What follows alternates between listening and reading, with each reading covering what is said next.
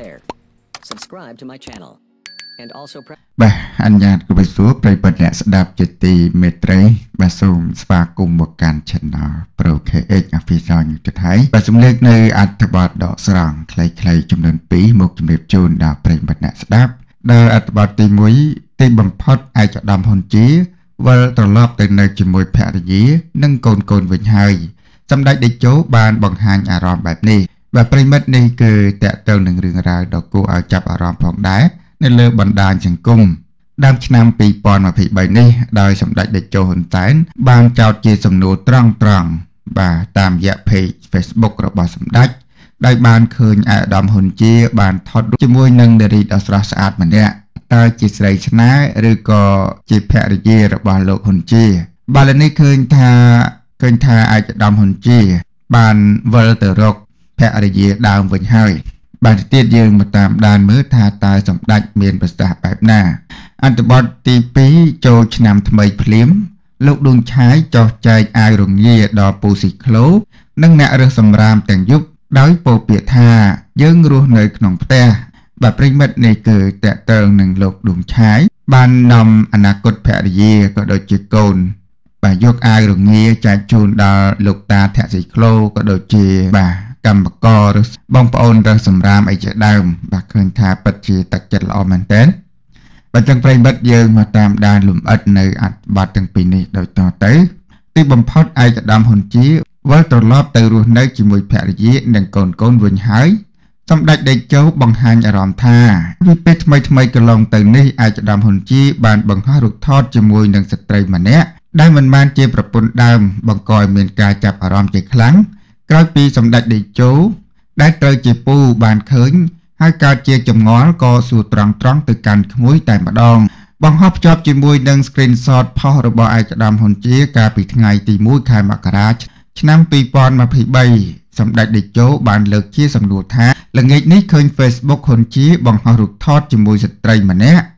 ដែលខ្ញុំចូលទៅសួរតើជាប្រពន្ធហ៊ុនជាឬក៏ជាស្រីហ៊ុនជាពុំមានចម្លើយណាមួយជាក់លាក់ទេរាប់ទាំងហ៊ុនជាក៏មិនចេញមកបំភ្លឺដែរដើម្បីដឹងច្បាស់តើជាប្រពន្ធស្របច្បាប់ឬជាស្រីយកប្តីគេខ្ញុំបង្ខំចិត្តប្រើភេកផ្លូវការរបស់ខ្ញុំ ដើម្បីសួរបញ្ជាក់ទៅហ៊ុនជាទៅច្បាស់បន្ថែមលើនេះថ្លែងក្នុងពិធីបើកការដ្ឋានសាងសង់ឆ្លងកាត់ស្ពានទន្លេមេគង្គនិងផ្លូវតភ្ជាប់ទៅខេត្តក្រចេះកាលពីថ្ងៃទី2ខែមករាឆ្នាំ2023នោះសម្ដេចតេជោហ៊ុនសែនបានបានឲ្យឯកឧត្តមនេតសវឿនអគ្គស្នងការនគរបាលជាតិឲ្យលោកហ៊ុនជាទៅទៅធ្វើការសាកសួរផងដែរ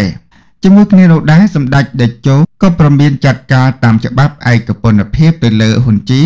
ដោយមិនមានការយោគយល់ដល់ក្មួយអ្វីនោះឡើយសម្ដេចក៏បានលើកឡើងថាហ៊ុនជាខូចដោយសារតែមានប្រពន្ធកូនពីរនាក់ទៅហើយបានយកទៅថតជាមួយនឹងសម្ដេចនៅពិធីមង្គលការមួយនៅពេលកន្លងមកសម្ដេចក៏បានលើកឡើងថាការបង្ហោះរូបថតបែបនេះធ្វើឲ្យប្រពន្ធកូនដើមឈឺចាប់ហើយសម្ដេចជាឪពុកមាក៏មានការឈឺចាប់ផងដែរទូយ៉ាងណានៅថ្ងៃទី3ខែមករាឆ្នាំ2022នេះ សម្ដេចតេជោបានបង្ហោះរូបថតជាច្រើនសន្លឹកហើយបានបញ្ជាក់ថាល្ងាចនេះប្រើពេល2ម៉ោងដើម្បីហាត់វេកូនគោលនៅតារាងក្បែរផ្ទះចូលឆ្នាំសកលមិនបានសម្រាកព្រោះមានកម្មវិធីការងារជាមួយនឹងការវេកបានល្អក៏ទទួលបានព័ត៌មានពីណេតឆាវឿនដែលជាអ្នកសម្របសម្រួលឲ្យបងប្អូនថាហ៊ុនជានឹងវិលត្រឡប់ទៅនៅជាមួយភរិយានិងកូនកូនវិញខ្ញុំកាន់តែសប្បាយចិត្តដោយឃើញក្មួយៗចេះរួបរวมគ្នា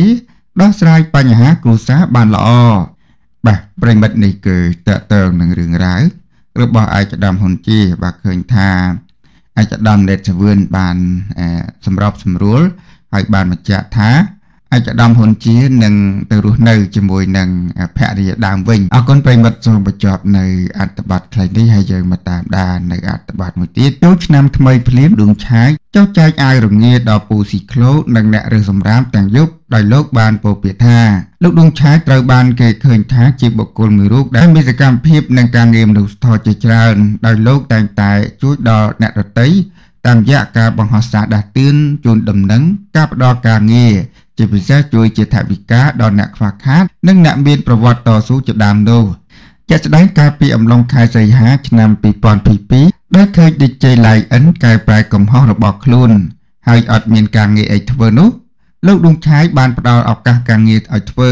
ដើម្បីកែប្រែខ្លួន និងបានលុយចិញ្ចឹមជីវិតការផ្ដល់ឱកាសនេះដែរលោកដួងឆាយបានលើកហេតុផលថាកន្លងមកប្រមុខថ្នាក់ដឹកនាំផ្ដល់ឱកាសឲ្យលោកលោក ដូចនេះលោកក៏ផ្ដល់ឱកាសបន្តចំពោះ DJ Lion ដូចគ្នាក្រោយមកលោកដួងឆាយបានជួបជាមួយនឹងយុវជនធុសាលីដែលជាអតីតក្មេងលក់វត្ថុអនុស្សាវរីយ៍ម្នាក់នៅអង្គរវត្តហើយដឹងថារូគេ កំពុងតែមានជីវភាពលំបាកនោះលោកក៏បានផ្ដល់ថវិកាមួយចំនួនព្រមទាំងបានអំពាវនាវសូមឲ្យមហាជនជួយដល់រូគេផងដែរ បន្ថែមលើនេះនៅថ្ងៃទី1ខែមករាឆ្នាំ2023លោកដួងឆាយបានចែកអាវរងាជូនដល់លោកពូស៊ីក្លូនិងបងប្អូនរសំរាមបង្ហោះភ្ជាប់ជាមួយនឹងរូបថតចោះចែកអាវទាំងយប់នោះលោកដួងឆាយបានរៀបរាប់ថាថ្ងៃទី1ខែ1ឆ្នាំ2023ចែកអាវរងាជូនដល់ពូស៊ីក្លូនិងបងប្អូនរើសម្រាមអាណិតពួកគាត់ណាស់រស់នៅតាមចិញ្ចើមផ្លូវយើងរស់នៅក្នុងផ្ទះនៅរងាចោះតម្រង់ពួកគាត់ទៀត ពុំមីងបងប្អូនអាចទៅជួយពួកគាត់បាននៅម្ដុំផ្សារអរុស័យនិងម្ដុំផ្សារកណ្ដាលសង្គមមួយដ៏គួរឲ្យរស់នៅ គឺចាប់ផ្ដើមពីយើងទាំងអស់គ្នាបាទប្រិមិត្តនេះគឺតើតើនឹងលោកដួងឆាយបានយកអំណោយបាទមានកៅអៅបាទចែកជូនទៅដល់បងប្អូនរើសសម្រាមក៏ដូចជាលោកពូបាទថាស៊ីក្លូគួរឲ្យទៅសើនៅទឹកចិត្តល្អប្រពៃអរគុណប្រិមិត្តសម្រាប់ការតាមដាននៅអត្ថបទខ្លីទាំងពីរនេះ